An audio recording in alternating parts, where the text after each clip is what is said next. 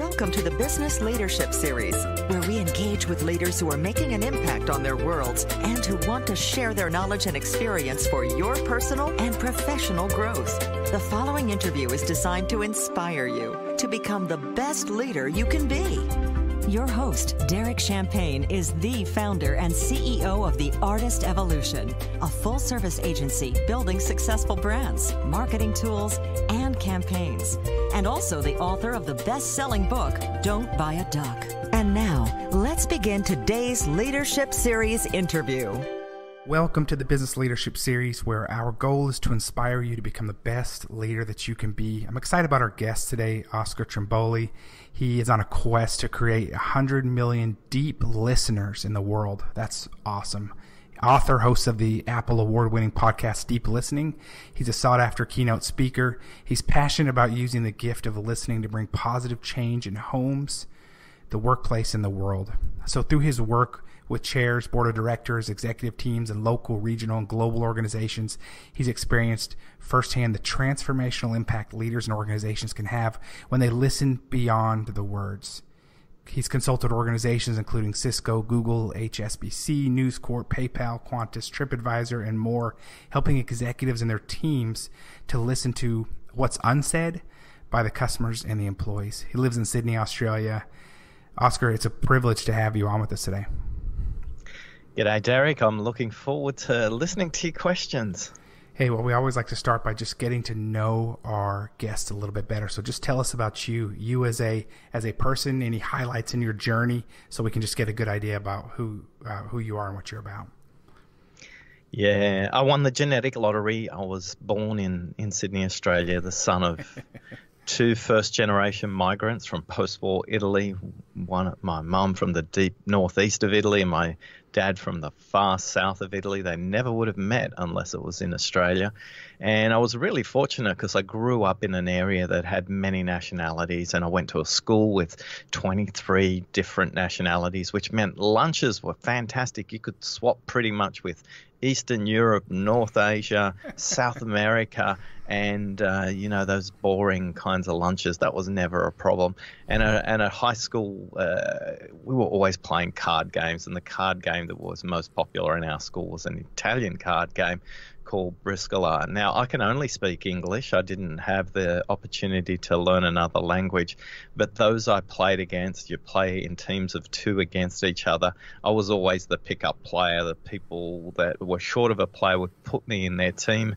And what you often had was nationalities competing against each other in these card games, Derek.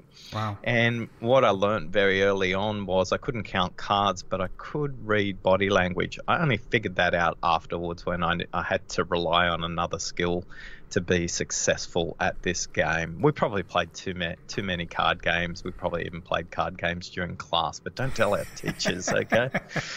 and uh, my dad had a great work ethic. He he always said, "You can't be the smartest in the room all the time, but you can always be the hardest working." And and I kind of took that to heart. And he said, um, son, you know, there's no one in our family ever gone to college, to university. Um, if you become an accountant, uh, you'll never be out of work. Um, how ironic those words are in the in the age of computing, because mm. accountants are one of the jobs under threat. And I, I did. I went to university. I, I got a a cadetship, as it was called then, a junior in an accounting firm. But only six weeks in, my manager pulled me aside and said, Houston, we have a problem.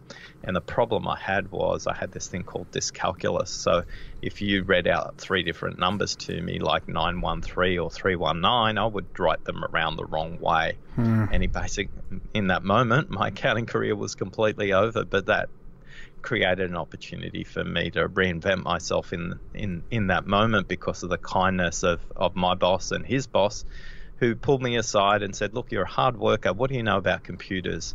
And I said honestly absolutely nothing. And they said great. That honesty will be perfect for what we need in putting these computers in, and off we went. And and you know, my, my corporate career uh, ended up as a marketing director at Microsoft three decades later, wow. and uh, an amazing journey and uh, having fun along the way. But everybody always said to me.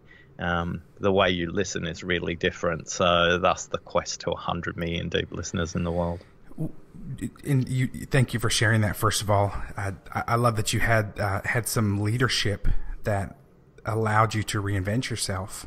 Uh, I love that example. That's great. Um, I'm sure that that made a major impact on you.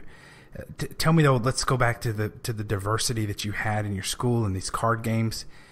What do you think it was that that made you recognize the, the, the the body language like what what was that skill set? Like let's dig into that just a little bit more because that that is i'm assuming is the foundation of of what you're teaching now. Yeah i didn't know it at the time. It was definitely the foundation. And i did it unconsciously. And uh, difficulty cool kids and the popular kids were and i was kind of not because I didn't speak another language, and I was forced into how, how, how do I learn faster? And I was watching head tilts. I was watching shoulder and spine movement. I was watching breathing. I was watching where their fingers were on the cards. I was watching how they were watching each other and the other card players. And then I was pattern matching because what I couldn't do was see the cards, but then I would have to notice the card they played and try and go, ah, okay, so that that that consistent way they tilt their head, that's when they've got a card that's a, a rubbish card, or that's the card they've got that's a good card, or or, or oh okay. So the, the players played diagonally, so you, the team was diagonally across a hmm. foursome. Mm. So you know you, you had to keep your eye on both players, and you know I always talk about the fact we have um, peripheral vision, but we also have peripheral hearing, and hearing not so much useful, but what I also started to listen for was not um, how the Vietnamese kids or the or the Polish kids or, or, or the kids from Argentina were speaking. I really couldn't understand their language, but I picked up a bit along the way. What I was listening for was their inclination in their voice Hmm. And, and, and, did their voice change when their card, uh, when their eye movements were different, when they were talking to the other player about what card they wanted to play and things like that? And I think at the end of the day, not having the ability to know the words uh, was actually an advantage for me because right. I could think I, I could concentrate on something they weren't concentrating on. Because that, that also made me invisible because I didn't speak the language um, you know, the person I was playing against couldn't say it in English because the guys from Argentina could understand it. So we were playing silent diagonally and we were relying on, I guess, subtle movement and things like that. Um, I wouldn't say I was a great player or the teams I were in were wildly successful, but we're definitely better than um, the teams who were um, relying just on their um, home language skills in that case. Hmm. and uh, and a bit of deception also. I would say uh, a, a, lot of people pretended they they weren't going so good with the cards or they had better cards than they did, but the the reality was their eyes definitely always gave it away.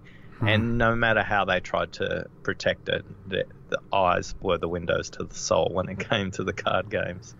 I find that really fascinating. Let's let's fast forward to this deep listening and applying it to today. You you talk about that despite the fact that 55% of our time is spent listening, it's a skill that only 2% of people really grasp. And that there's these astonishing costs of failing to do so from miscommunication to job turnover to lost sales.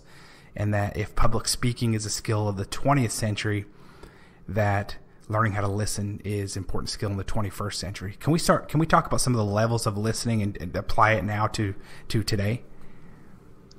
Yeah, I think the more senior you are, the more likely that you're going to be spending more of your time listening, whether that's in the workplace or, or for customers, uh, even suppliers or employees. So the the bigger the impact you have, the more more of your day you spend listening. So people in the people in my research database, 1,400 people, the most senior ones of those have said that they they can spend up to 80% of their day just listening, but none of them ever got taught what plus, divide, subtract, division is as, it, as it relates to listening. So, the five levels of listening is a way to help us understand how, how do we code listening?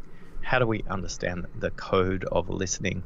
And, and it started with a story where Tracy who was my vice president at Microsoft. We were in a in a very complex budget negotiation between Seattle, Sydney, and Singapore over video conference in about March of 2020 uh, of 2012, hmm. and at the 20 minute mark, Tracy looked across me in the room and said, Oscar, we need to talk after this meeting.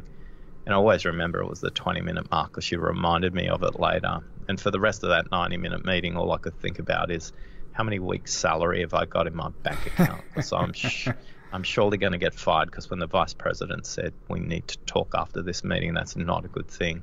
Mm. But the meeting concluded actually a little bit early, and um, what what ha- what happened at the 20 minute mark probably contributed to that. And Tracy took me aside at the end of the meeting, and I sat down, and all I could I'm just counting. Yeah, I think it's four weeks of salary. and she said, at the 20 minute mark, I want to talk to you about the 20 minute mark. And I said, sure, sure, Tracy. Yeah. She said, you can you, you have no idea, but you completely changed the direction of the meeting by the way you were listening. If you could code that, you could change the world. And wow. the only thing, the only thing was in my head at the time because all I was worried about was my bank account, and I was waiting for her to say you're fired after that. And I, all I could get out of my out of my mouth was, Tracy, do you mean code or code code? And she looked at me quizzically and she just said, code. Now, when you're at Microsoft, that means write this into software.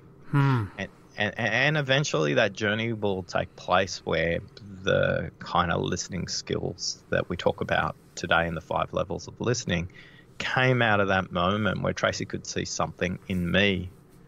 And this skill, it wasn't a skill about oration, it wasn't a skill about being a, a, a really persuasive speaker. It was just the capability to draw the group just to listen to themselves a little bit more and in a different way. And I walked out of that room, Derek. I never thought about it again until four weeks later, where our chief operating officer and chief financial officer said to me, um, "Can you come into our team meeting? I want you to watch how I listen." And I went, "Oh, have you been talking to Tracy?" And he said, "Yeah." and for, so they wanted that, you to observe. They wanted you to observe how they were listening. Yeah, and look at like, that! Wow. I, I, I said, Brian, I got a day job here. You know, I had a big job. I, I was I was responsible for the biggest division in, in, in the Australian business at that time from a revenue production perspective. Hmm. Um, you know, it was a it was nearly a billion dollars US. I was responsible for a reseller network of over ten thousand people, hmm. and I had a busy job. And these people are saying, "Come and watch, come and watch me listen," and I'm going. oh, anyway, so I sat in those rooms, and what I started to realize is I had to take what I was doing subconsciously and code it into these five levels of listening. So these five levels hmm. of listening are listening to yourself. Number one, most people think you've got to start with the speaker. You actually need to start with yourself. Level two, listening to the content. Level three, listening for the context. Level four, listening for what is unsaid. And then level five is listening for meaning. And they're each are progressive. You it's very difficult to access the next level of listening if you haven't got a strong foundation on the level below it. And for most people in our research database derek they stuck at level 1 86% hmm. of people say they're stuck at level 1 because of their cell phone their laptop their ipad something that beeps and buzzes and notifies them that is the biggest barrier to most people's listening. Many people think it's about being fixated on the speaker, but most people turn up to the conversation with a story in their head about the last meeting, the next meeting, a chore they have to do on the weekends, and travel arrangements, um, a bad experience they had with this person last time. In fact, it's happening for people listening right now. They're completely distracted listening to us. Hmm. And what I want to do is just invite you back in and explain the 125 400 rule, which means I speak at 125 words a minute. You listen at 400 words a minute, so you're genetically programmed, you're neurologically programmed. The neuroscience says that you're going to be distracted straight away because you're filling in the gap for 300 words in your head because I'm not speaking fast enough. Now, horse race callers wow. and cattle auctioneers, they get up to 200 words a minute, but reality is we can we can listen to up to 400 words a minute. So we drift we we drift either into their story and go and find a time where we had a story in common, and we drift and we find a story that's different, and it's happening right now for people listening. It's like, oh, this guy's got a weird accent. When was the last time I heard a weird accent like this? so, so listening to yourself is really the critical starting point. And, and there's three tips I'd always give, Derek. Number one, get rid of those distractions. Number two, drink water. A hydrated brain is a listening brain. The brain processes listening at the most modern part of the brain, the prefrontal cortex, the part of the brain that's immediately behind the skull. And a lot of people say my brain hurts when they listen, and the reality is they're actually dehydrated. Wow. The brain is 5% of body mass, yet it consumes 26% of blood sugars. And when you're doing a complex task like listening, if it's hydrated, you're giving your brain a better chance. And then finally, tip number three the deeper you breathe, the deeper you listen, most people aren't even conscious of their breathing. So with three deep breaths, and I'm not talking about a yoga pose and not that kind of stuff, just in through your nose, down the back of your throat, all the way down to the bottom of your lungs. Exhale through your mouth. Do that three times, and you're going to be in a state that's ready to listen. The way I make that work for me, Derek, is I just when I go into a lobby of a building to see a customer or a, or, or a client or a supplier, I switch my cell phone off, I put it in my bag, I get into the elevator. If there's nobody in the elevator, I'll do this with my eyes closed. If there's someone in, in, in the elevator, I'll just look at my shoes. I'll take three deep breaths. And then when I get to reception and they offer me refreshments, I always ask for a jug of water, not just for me, but also for those people who are in the meeting. And those three things are really easy to do, but they're really hard to practice. Wow. Great tips. Thank you so much, Oscar uh, I was practicing my breathing while, uh, and I was focusing, but I was doing my deep breaths as I was listening, uh, just, to, just to try it out for myself. I love that. I mean, those those are great tips. We've got a few minutes left, man. I would, I'd love to pick your brain all day on this. Is so great, but can you get us into one more level? I mean, you, you talked about the five levels: listen to yourself, listen for content, listen for context, what's unsaid for meaning. Um, yeah, remove I, distractions, I think, drink water, breathe deeper. What a few other tips. I mean, I'm I'm taking big notes here because these are such practical things, and what a game changer it actually is. Imagine if my team was doing this internally with each other and with our vendors and with our clients. I, I get it. Yeah, look, uh, three years ago, one of the biggest changes Google implemented in meetings for more than six people is they have one minute of silence at the beginning of the meeting. Some leaders have a guided meditation that they do with that, but most leaders at Google, and it's the most commented on thing in terms of improving meeting productivity, but also employee engagement. For you as executives and business owners and entrepreneurs out there, level four, listening for what's unsaid. This is the ninja move. If Yoda from Star Wars was sitting down with us around a little log fire, he'd be saying to us, Listen for what's unsaid, which is completely counterintuitive. But uh, another rule about the neuroscience of listening I speak at 125 words a minute, yet I have 900 words per minute stuck in my head. So I think at 900 words per minute on average. Some people can think way up to 1500, 1600 words per minute on average.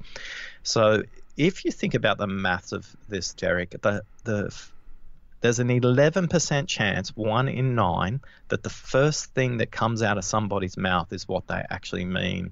So a skillful leader won't try and engage in the dialogue or on the first thing that people say. Here's three things you can practice to explore what's unsaid. And when you do this, what you'll notice is people will take a deep breath, they'll sigh, their shoulders will change position, and they'll go, Well, actually, Derek, what we should be talking about is, or they'll say, Hmm, well, what I meant to say was, hmm. or they'll say, Hmm, now I've had time to think about it a little longer. We should be talking about this rather than that. So here's the three phrases you want to get awesome at practicing, and they're really simple phrases. First phrase is, Tell me more. Next phrase, What else? And the third phrase, you need to lean in and listen carefully. This is one's a little bit more complex. Here it is. So don't worry, I didn't drop out. It's silence. So in the West, uh, we have an awkward relationship with silence. We call it the awkward pause. We call it the pregnant pause. We call it the deafening silence. In the East, in ancient cultures, in, in great traditions of storytelling and story listening, the Inuit of North America, Chinese, Korean, Japanese, the ancient tribal cultures of Africa and South America, and in Australia, the Aboriginal and the Polynesian Islanders and the Maori cultures. Uh, silence. It's a sign of wisdom. It's a sign of authority and it's a sign of respect. Now, what happens, Derek, if you ask these or use these three really simple phrases? that person will start to think about what's really critical because the likelihood that the first time they say something is what they mean, you've got better odds going to Las Vegas on a roulette wheel, to be honest, than you have of getting a great conversation going with the first thing they say. If I went to my doctor, Dr. John, and he said to me, Hey, good news, Oscar, you got an 11% chance of surviving the surgery. you know, I'd be asking for a second opinion. I'd be asking for a third opinion, a fifth. I want to get it up to about 50%. That would be handy. Yet, mm. most of us in our working life and in our home life have very superficial conversations about the first thing that comes out of people's mouths and what we're not listening is beyond the words as to what they really mean. So those three tips are tell me more, what else, and just pause, use silence, let it do the heavy lifting. And what our database has told us is if they practice this consistently, they get four hours a week back in their calendar because they're not repeating things. They're not going back into project meetings and saying, no, that's what I actually meant last week. You've brought back the wrong deliverable. Or they, they're winning more customers because they're listening for where they can help rather than where they can sell. So, helping the customer understand that you may be the right match for their organization or not but listening for where you can help beyond the current conversation is what makes a huge difference as well at level four. Hmm. There's so much there, Oscar. I, I really appreciate your wisdom. I love that. Let the silence do the heavy lifting. Wow, that is really powerful. I wish I could talk to you all day on this. Uh, we're out of time today. Can we talk though about how can our listeners learn learn more about you and what kind of resources you have? Uh, I'm ready to roll up my sleeves and learn more really simply, if you go to listeningmyths.com, at listeningmyths.com, you can get the research, you can get uh, the jigsaw puzzle game you can play, you can get the playing cards, you can get the book, you can get access to the research, you can get access to the Apple Award winning podcast, you can hmm. set your own adventure from there. But if you visit listeningmyths.com, that's the gateway to starting down this path.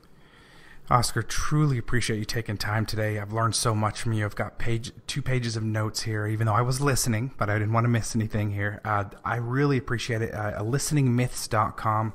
Oscar, thank you. And man, I look forward to getting into that. And thank you for your time today. Thanks for listening. You've been listening to the Business Leadership Series, where we engage with leaders who are making an impact on their worlds and who want to share their knowledge and experience for your personal and professional growth. This interview was designed to inspire you to become the best leader you can be.